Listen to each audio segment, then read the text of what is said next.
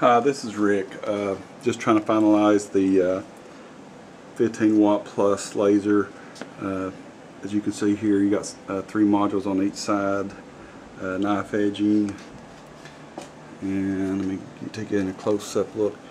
Right at this point, here's a cube. There's a little mirror here, reflects it into this mirror here, shooting it to the, through these uh, two optics, trying to line the beam up. I need to work on this piece here uh, because the beam's lower for mounting on the gun. I need more adjustment.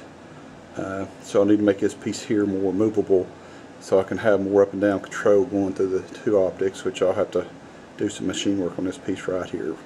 But uh, hope y'all can understand and the spacing as you can see I've got a lot of movements in a lot of my pieces. Uh, as you can see down there a lot of the pieces have a lot of movements. Uh, I'm going to try to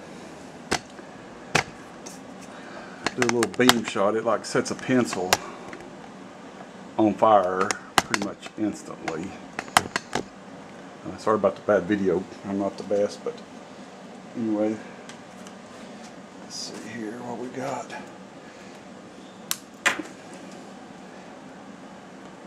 As soon as it hits, watch this. I mean, almost instantly. Camera.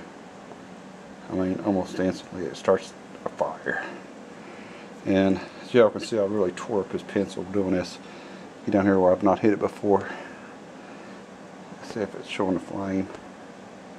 Oh yeah, like instantly. I would definitely hate to have get my finger in front of that beam. But anyway, there you go. And a long run time too, uh, a good minute. Well, hope you enjoyed the video. Uh, hope to get it up to uh, 60 watts uh, as soon as I get some more parts machined. Thanks.